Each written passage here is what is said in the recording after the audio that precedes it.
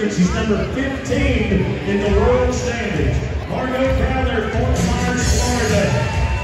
She won money at this rodeo in 2019, the last time we were in town. Margo Crowther. From the east side of Fort Myers, Florida. Four-wheel drive. And we are going back to